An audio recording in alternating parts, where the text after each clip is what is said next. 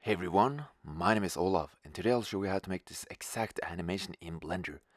As always, it's going to be uh, quick and easy, so uh, let's get started. Okay, so let's switch to the cycles render and then click X to delete the default cube. Click Shift A and add a sphere. And uh, let's uh, go to the modifiers, add modifier and add a subdivision surface modifier. And increase the subdivisions to 3 and then add smooth shading. Okay, let's go to the uh, particle settings, click new, and then increase the number of hairs to about 2000. We need to change the type from emitter to hair, and then decrease the uh, length of the hair. So let's uh, set it to 0.3, so that it becomes shorter. And uh, now we need to change the number of hairs by using children. So click children, simple, and then in the render increase it to about 500 or less if you have a, slower computer. And um, let's go down to the cycles hair settings. And um, decrease the size of the root so that the hair becomes thinner. So a 70% decrease in the thickness of the hair. And then the next step is to add the hair dynamics to the ball. So uh, click hair dynamics and then let's open the settings. And first off we need to change the stiffness. You can add another value if you want to if you want it to be less stiff but I'm going to set it at 0.3 I decided to set the randomness to 0.1 so that the animation looks a little bit more natural. And for the quality I set it to 30 and now we need to animate the rotation and the location of the sphere. So move forward in time and click N to uh, make the transformation settings show up Click I to keyframe the rotation and then move forward in time. Let's uh, set it to uh, frame 60 and then click R, then set to rotate the sphere on the z-axis.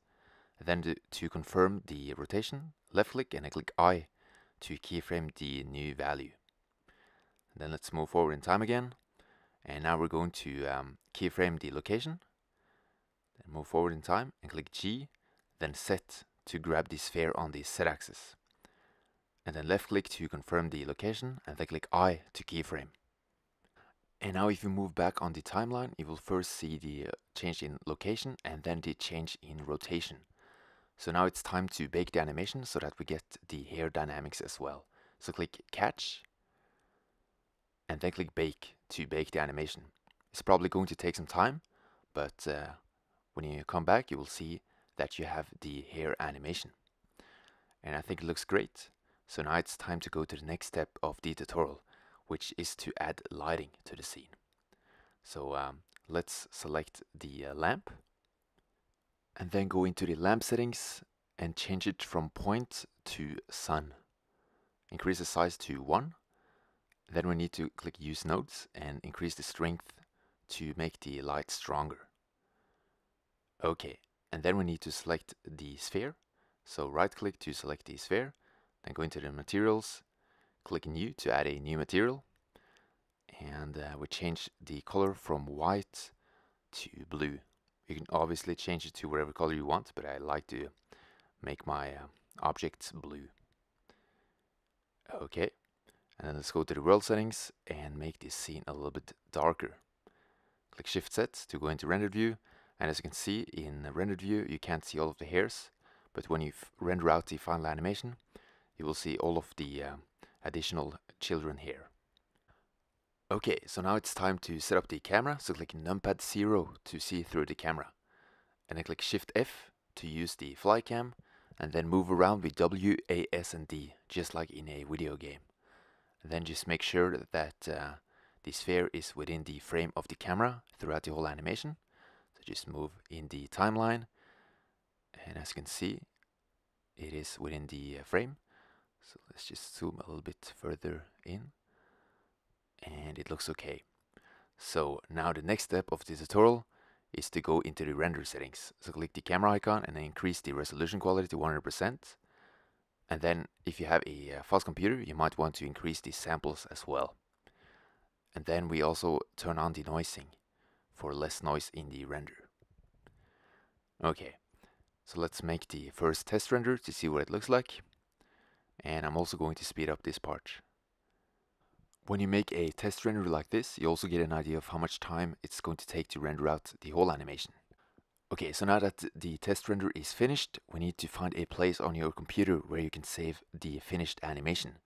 So uh, make a new folder and uh, make it wherever you want on the computer, it doesn't really matter.